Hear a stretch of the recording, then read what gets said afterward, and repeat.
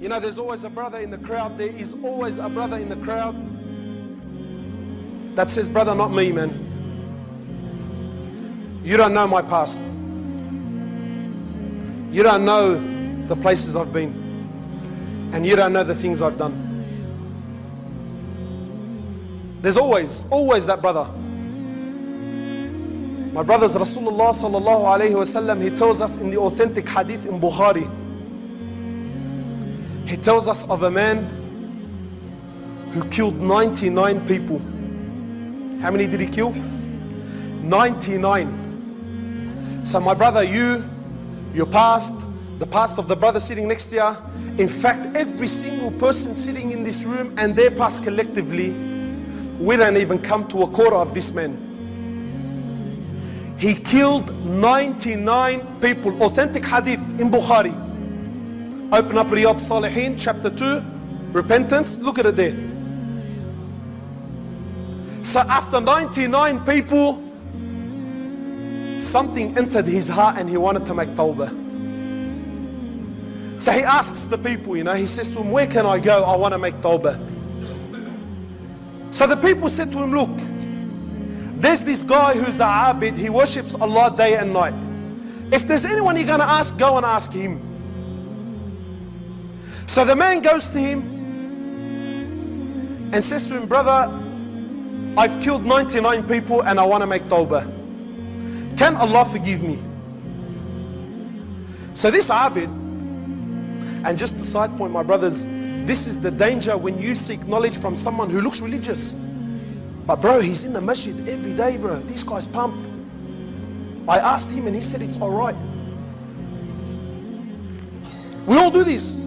Brother, his beard's like that.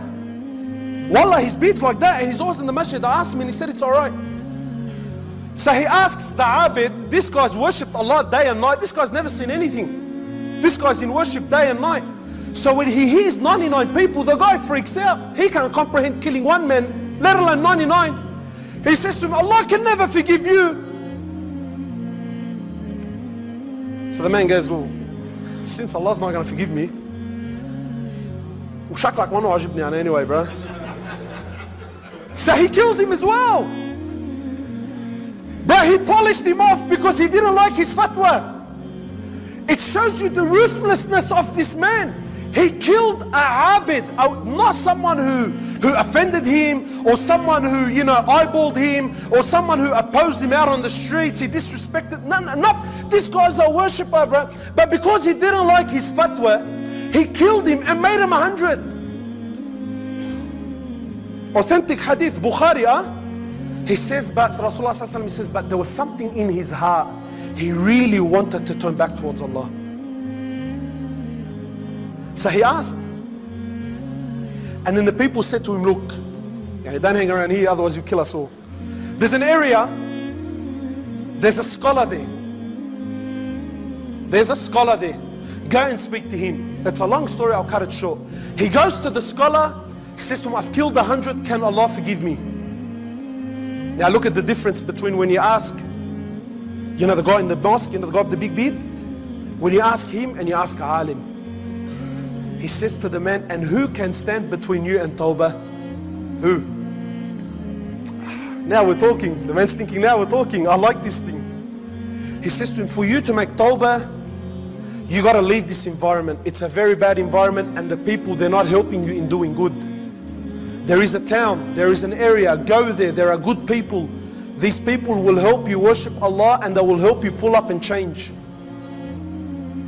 So the man was sincere. He packs his stuff and heads off to the town. On the way, death meets him, he dies. So the angels of forgiveness come down and the angels of punishment come down. And there's an argument. The angels of mercy said, but he made tawbah. The angels of punishment said, no, no, no, he killed a hundred people and he didn't complete his tawbah. He was on the way. So Allah sends down a third to be a judge between them. The angel says, measure the distance. If he is closer to the town of sin, then let the angels of punishment take him. But if he is closer to the town of forgiveness, then let the angels of mercy take him. So they measured the earth, and unfortunately for him, he was closer to the town of sin. Authentic hadith in Bukhari Allah ordered the earth to change its dimensions and made him one hand span closer to the town of piety.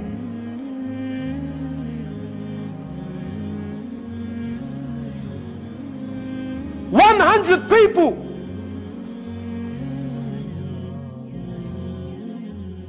But he was sincere. Allah gave him this.